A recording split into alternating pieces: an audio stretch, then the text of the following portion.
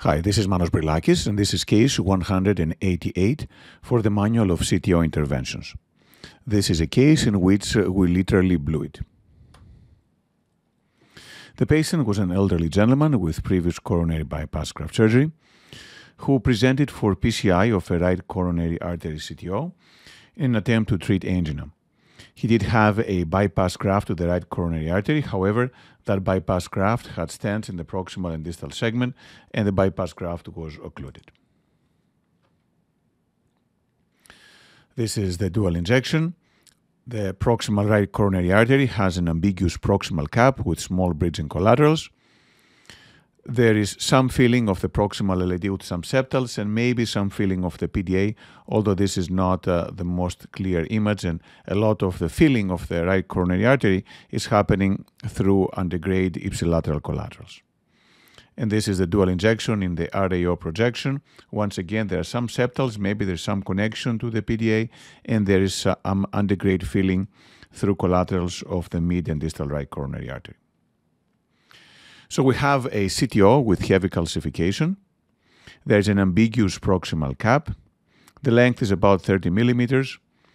The distal vessel had a bifurcation on the distal cap with this large acute marginal branch that was part of the ipsilateral collateral network. And then collaterals were both ipsilateral as well as contralateral from the LAD.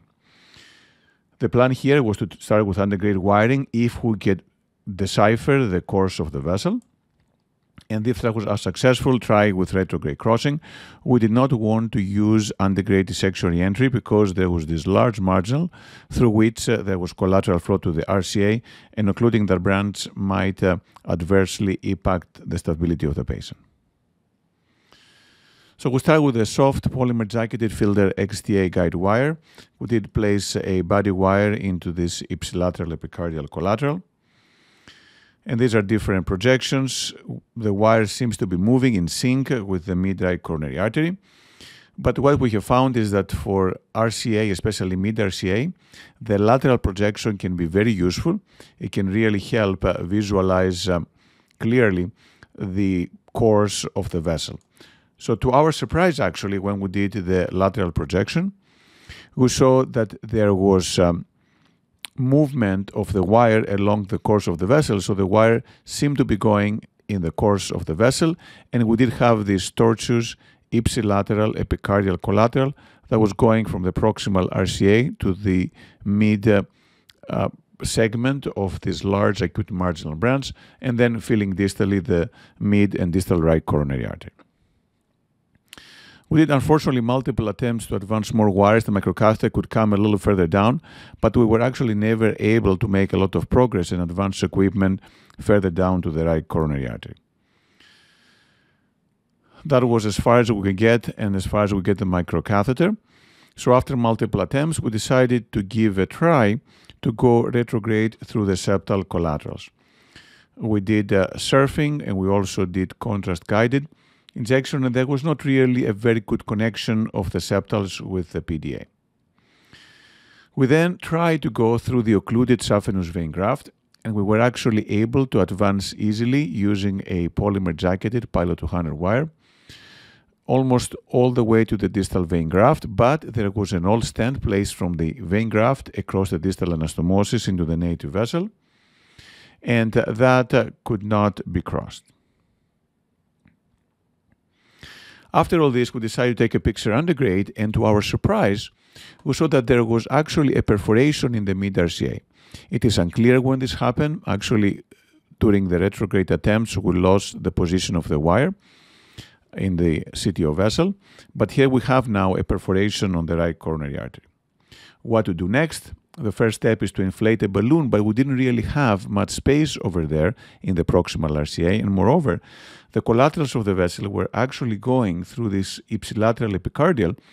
And if we were inflating a balloon, we might be causing significant ischemia of the mid and distal right coronary artery.